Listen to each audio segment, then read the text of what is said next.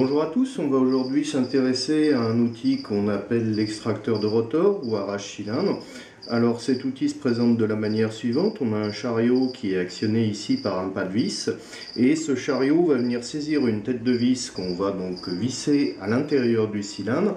On va positionner l'outil comme ceci et ensuite on va tirer en sens inverse à l'aide du chariot, ce qui va permettre d'exercer une pression de plusieurs tonnes sur le cylindre et notamment au niveau du pont du cylindre et qui va permettre selon les cas soit de casser le cylindre comme on l'aurait fait tout simplement avec un casse-cylindre sauf qu'ici on peut le faire sur un cylindre non dépassant soit encore de sortir le rotor du cylindre et ensuite de procéder à l'ouverture à l'aide d'un simple tournevis.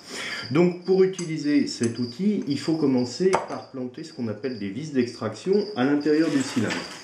Ces vis d'extraction se présentent sous différentes tailles. On distingue en général trois tailles différentes de vis d'extraction. Et il est important de toujours commencer par la taille la plus petite pour passer ensuite en taille intermédiaire et pour finir par la taille la plus importante. Alors, comme on est ici sur un cylindre de relativement basse qualité, on peut se permettre de n'utiliser que deux vis d'extraction. Une première, la plus petite, qui va nous servir à créer un filetage à l'intérieur du cylindre, et puis la deuxième qui va nous servir à proprement parler pour l'extraction. Le processus est extrêmement simple, il me faut une visseuse, j'insère donc ma vis à l'intérieur de l'entrée de clé, et puis je viens bon, bah, tout simplement poser ma vis donc c'est parfois un petit peu difficile au démarrage.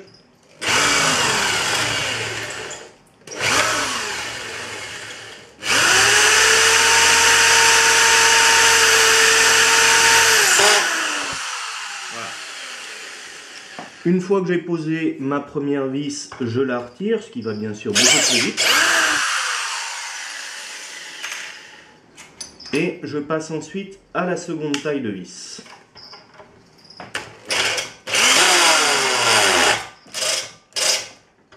Voilà. Une fois que ma vis est positionnée, je vais maintenant utiliser donc mon extracteur. Je viens positionner la tête de vis dans le chariot. Je mets une petite tension, voilà, jusqu'à ce que mon extracteur soit positionné fermement ici. Et ensuite, j'ai deux solutions. Soit j'utilise ici une euh, douille que je vais monter sur ma perceuse qui va me permettre de faire l'ouverture vraiment en quelques secondes, soit plus simplement en manuel, une clé à cliquet. On va ici utiliser la clé à cliquet simplement pour que vous voyez bien quel est le processus, que vous ayez le temps de le visualiser. On va voir que ce qui se passe en général, c'est que le ressort va progressivement ressortir à ce niveau-là. Donc je prends ma clé à cliquet et là l'opération est extrêmement simple puisqu'il ne me reste plus simplement qu'à visser.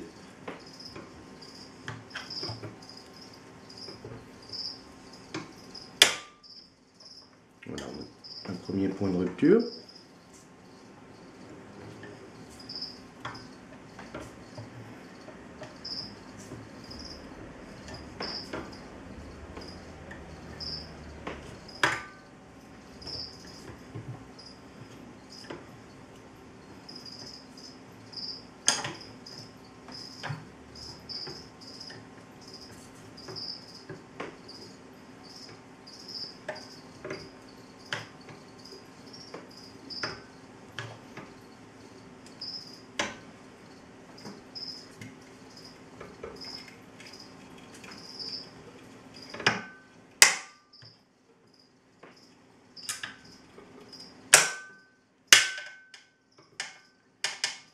Tout est en train de céder à l'intérieur du cylindre.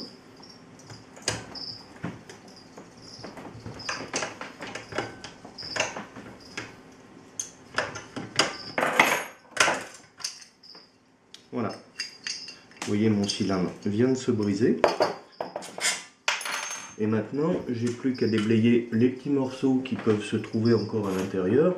Donc, à l'aide d'une pince à bec fin. Voilà. Je retire également un morceau du cylindre qui est resté bloqué à l'intérieur.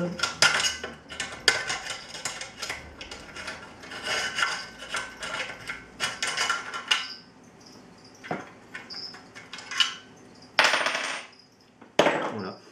Et il ne me reste plus ensuite, une fois que j'ai évacué les débris de mon cylindre, qu'à utiliser de manière très classique une clé d'entraînement pour procéder à l'ouverture ou à la fermeture du cylindre.